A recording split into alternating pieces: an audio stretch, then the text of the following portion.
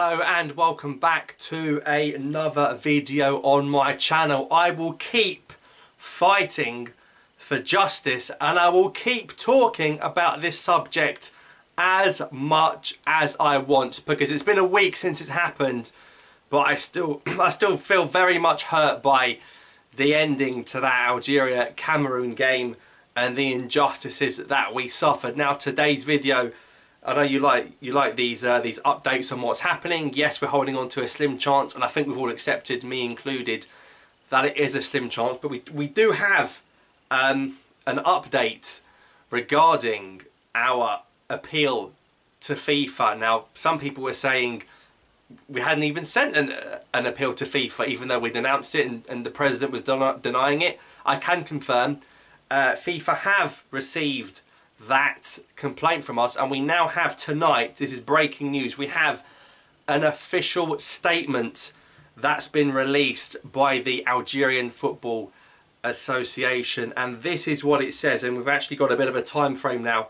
The Algerian Football Association knows that the appeal it submitted before the FIFA Disciplinary Committee, that's the committee that Arsene Wenger was referring to. And Arsene Wenger said it wasn't his decision. He said it was down to the committee. Well, that committee now have our appeal. So I'll start again. The Algerian Football Association knows that the appeal it submitted before the FIFA Disciplinary Committee regarding the confrontation of the national team and its Cameroonian counterpart in the second leg of the qualifying playoff round for the Qatar 2022 FIFA World Cup will be discussed. It will be discussed by the FIFA Disciplinary Committee on Thursday the 21st of April. So that complaint is officially in. It's been received by the FIFA Disciplinary Committee and it will be discussed at their meeting on Thursday the 21st of April which is just over two weeks from now. So we've done our part, we've got our case across FIFA are going to have a look at it at their next disciplinary committee meeting. Now then, have we got a strong enough case? Because we, we've done our bit now, and now it's in it's in God's hands. It's in it's Ramadan. I don't want to make predictions, but that complaint is in.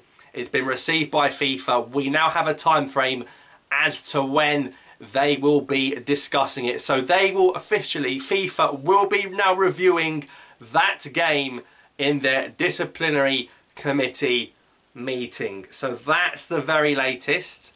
Um, so we wait until April 21. They'll discuss it on April 21.